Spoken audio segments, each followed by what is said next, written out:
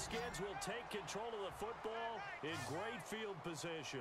A look at Washington as they come onto the field. They're going to go with a tight end here on the running play. Last time they were out, they scored. Still trailing here, though. And he is into the